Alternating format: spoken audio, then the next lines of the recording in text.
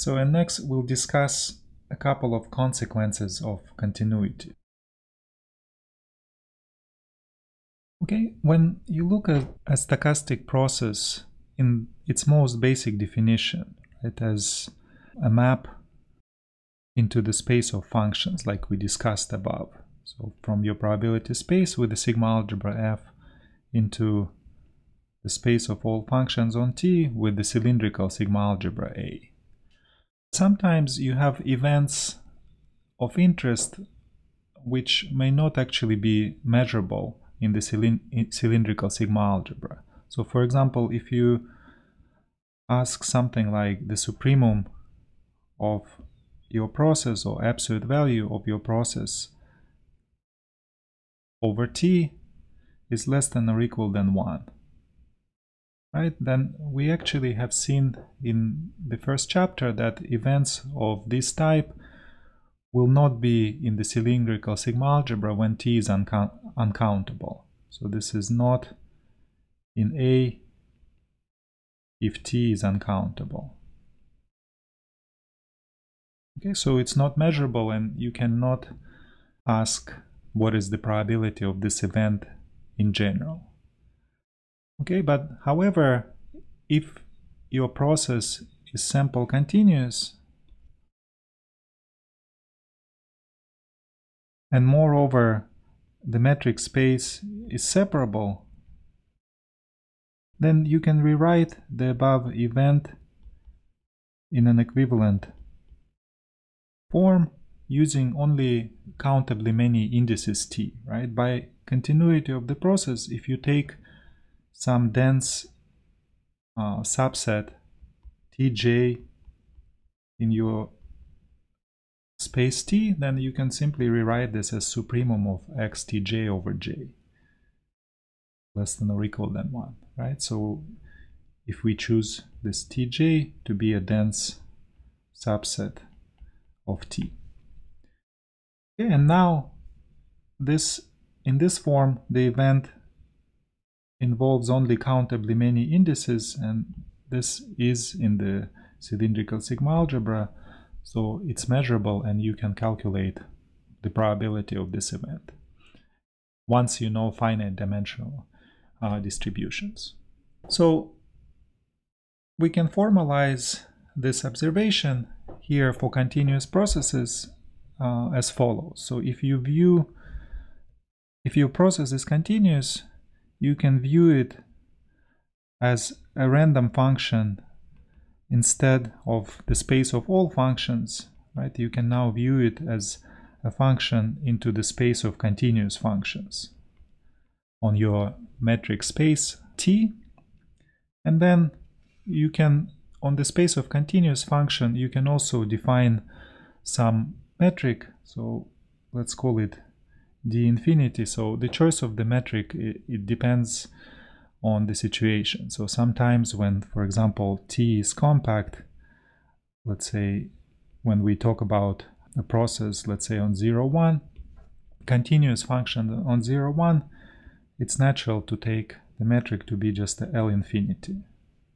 If you have, for example, we'll talk about a convergence to a Brownian motion on um, 0 infinity, then it's not natural to talk about uniform convergence on the whole half line. So you can instead take, take a metric which metrizes uniform convergence on compact. So in some situations you can take d infinity to be, in this particular case, to be, for example, this usual construction, the sum 2 to the minus n, dn over 1 plus dn, where dn between two functions f and g is just the supremum on the interval 0 n. Okay, but for the next statement, you can, for example, choose d infinity to be just the sup norm no matter what your metric space is. Even if it's not a natural choice, you know, the statement will be uh, true for, for this choice. And the statement here, it's the formalization of the above intuition that once you have continuity, you can really express many events or events of this type which will be in the Borel sigma algebra on the space of continuous functions simply by taking event in the cylindrical sigma algebra and intersecting with the space of continuous functions. Okay, so in other words, let B on the space of continuous functions right, be a Borel sigma algebra on the space of continuous function with the either sup metric or uh, this metric that metrizes uniform convergence on, on compacts. So the space comes with its own Borel sigma algebra, so you can take events in this uh, Borel sigma algebra. And the following lemma says that this Borel sigma algebra is just the intersection of cylindrical sigma algebra with the space of continuous functions. D. D, okay, when, again, I already mentioned this, but we assume that the space is separable.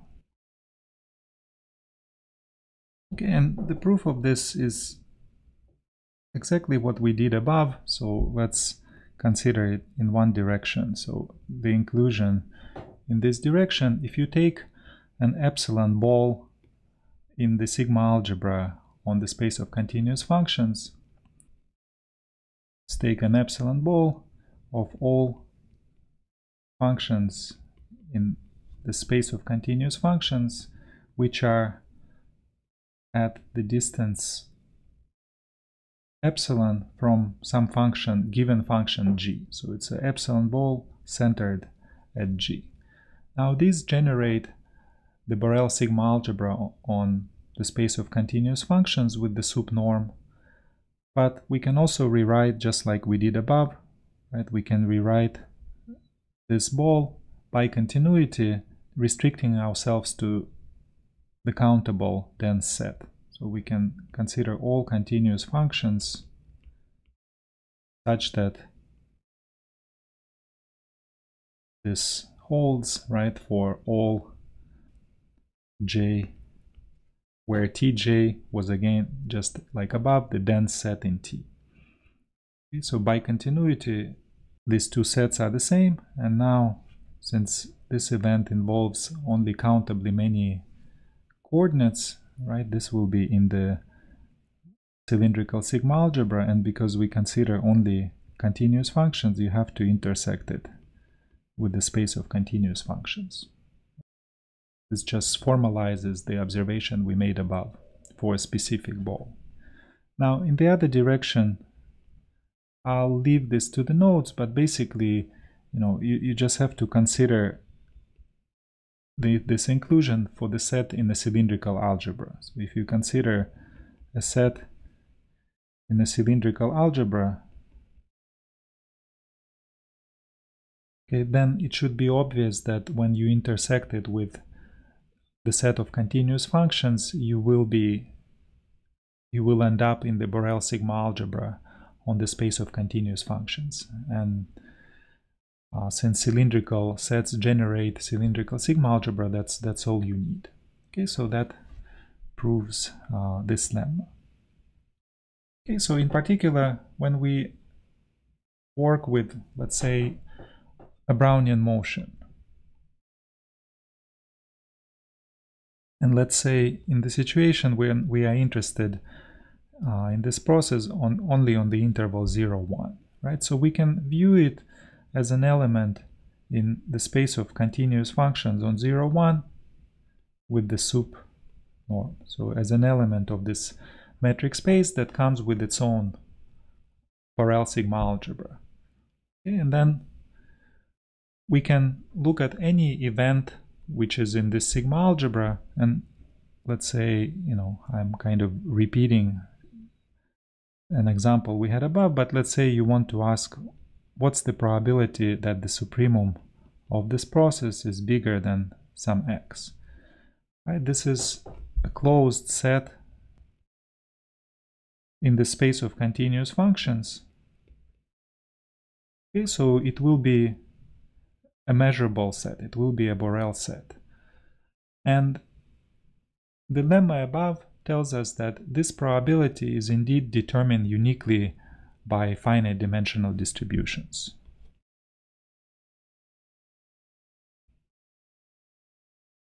Okay, so basically this shows that we should view the Brownian motion or a continuous process as an element in the space of continuous functions instead of the space of all functions, so coming with its own Borel sigma algebra. And in the case of the Brownian motion, the probabilities, all the probabilities on that Borel sigma algebra are uniquely determined by our definition. In other words, by specifying finite dimensional distributions. Now, another useful consequence of continuity is the so-called joint measurability. Let's give a definition of what a measurable or jointly measurable process is. So again, here we'll consider the case when our index set is a metric space. So the metric space comes with its own structure, including its own sigma algebra, Borel sigma algebra. And we'll say that a process x t omega so we view it as a function on the product space of t with omega. This stochastic process is called measurable or jointly measurable. Okay, if it is measurable on the product sigma algebra with respect to the product sigma algebra as a function on this product space.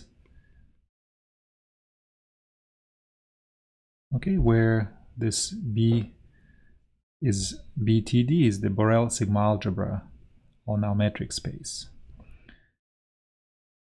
and if your process is jointly measurable in this sense this often can be very useful so for example let's say we consider uh, index set t which is a subset of the real line. Like for example 0 1 let's say when t is 0 1 right? And on 0 1 you have some you can put some probability measure. So for example you can put you can consider um, a Lebesgue measure on on 0 1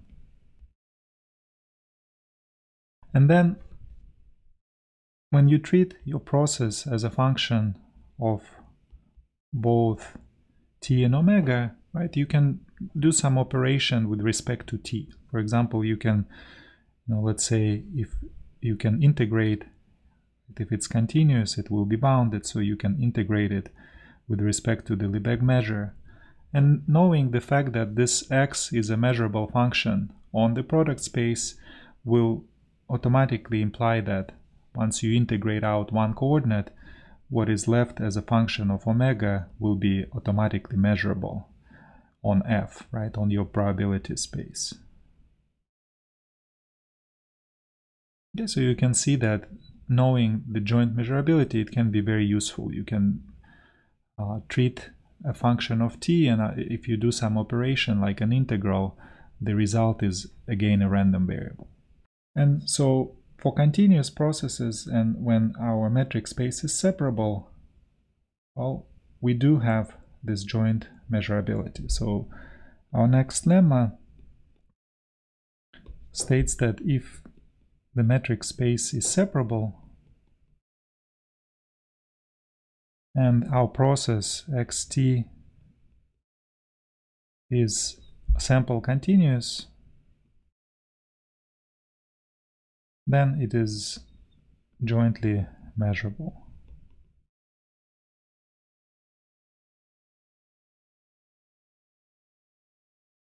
And the proof of this is just by approximation, that you can write your process x as a limit of processes which are obviously jointly measurable. So For example, you can take any integer n and then using the fact that t is separable, you can split it into a disjoint union of some sets of small diameter. So you can ensure that the diameter of each element in this partition is less than 1 over n. Okay, and then you can pick some point ti in each of these sets and you, you can define the following approximation. You can define the process xn to be x at ti omega whenever t is in bi right so in other words you kind of replace all indices in this partition element bi by some fixed point ti. Now we know that by continuity these converge uh, for all t and uh, omega. Okay, so by, by sample continuity of our process x, we know that x and the w converges to x t omega, not w omega, for all t and omega, right?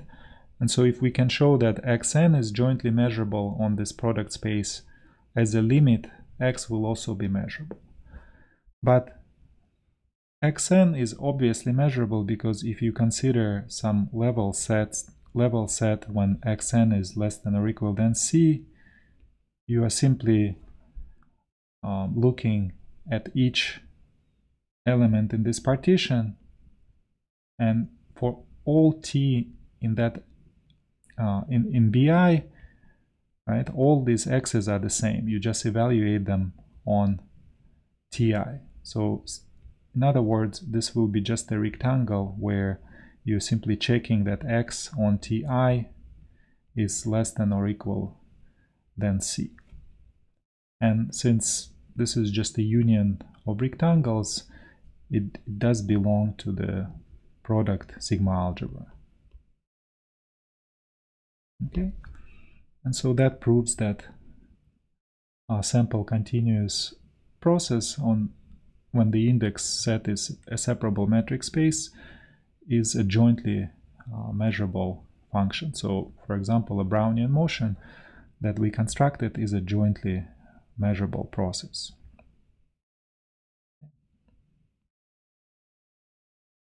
Okay, and finally we conclude this section with, with the definition of a Brownian bridge.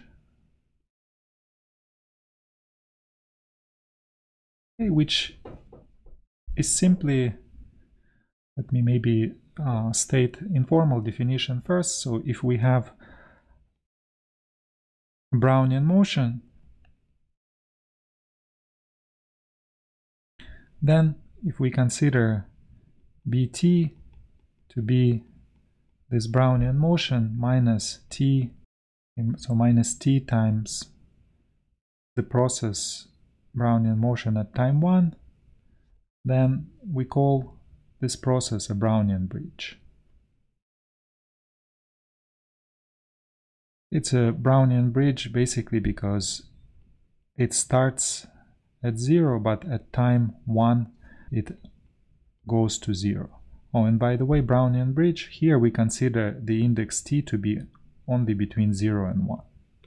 Now, of course, you can now give kind of a formal definition that, that a Brownian bridge is a continuous centered Gaussian process with a specific covariance. And you can calculate from, from this representation that I wrote above that the covariance of this process at, in, at times t and s will be s 1 minus t in the case when s is less than or equal than t. Okay, so you can write formally, if you like, the definition in the same way as we wrote the, the dry definition for the Brownian motion, just change the covariance and restrict the index set to be uh, 0, 1. Okay, so that gives the definition. So we constructed um, Brownian motion and Brownian bridge, and in the next two sections we'll give two classical example of convergence to these objects on the space of continuous functions on 0, 1 or on, on the half line.